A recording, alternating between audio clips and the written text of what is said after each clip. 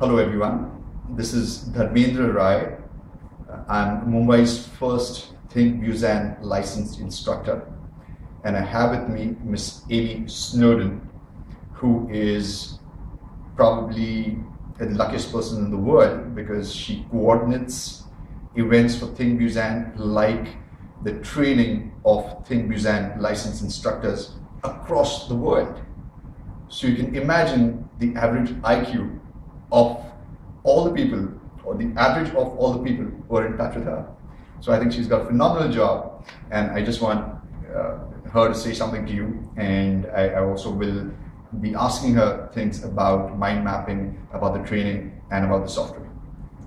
Okay, thank you very much, Dharmendra. Well, first of all, thank you for having us here. It's very nice to be here. And as you say, I am very lucky to have the role that I have within the company Think Buzan because I'm in a very unique position where I get to see um, all the people who attend our courses, our Think Buzan Licensed Instructor courses, right from the very beginning all the way to the very end, and then of course after the course of how they develop.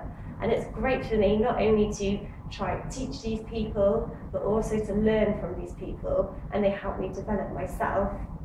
And it's great for me to help people develop, and I really try and take that further by talking to people during the course, before the course, and after the course, so we can really take it to the next level.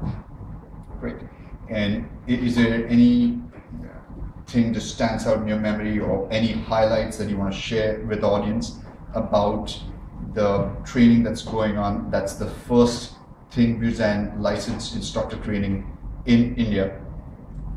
Um, definitely. My number one uh, my number one thing that I really notice about the group is the majority of you are from India and you're all so enthusiastic. The passion that comes through from everyone who attends is right up there and that makes everything worthwhile because when you can see that um, Tony and Chris have managed to get these passion out to all these different people from all walks of life, it makes you feel very privileged and it really makes you want to um, take everything and give everything back to people so we can continue to um, enhance the word of mind mapping and visual thinking around the world and I think the enthusiasm definitely stands out for me.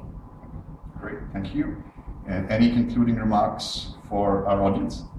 Um, well, first of all, I'd like to say how great it's been to be in India, and as I said, we have a very high number of um, delegates who are from India, so that's really great to see, to see that we have the interest here. And from a training point of view, it's been lovely um, to show you iMindMap 5, especially in this course, because the version of the software we're currently on is 5.4, so it's really developed from the launch back in April and to show everybody this is how it launched. These are the extra things that we've added on and to prove that we're really working with the software and working with um, all our users to make it a better piece of software and to see them implemented in the real world, which is what you guys are, makes a real big difference and it, it feels like we're really getting to the right point with the software. So thank you very much Thank you here. very much. It's been a pleasure speaking to you. You too. Thank you. And if you enjoyed the video and you want to ensure that you continue receiving exciting updates about mind mapping, about the iMindMap software, about the latest developments about mind map training, please subscribe to this channel. Thank you and all the best.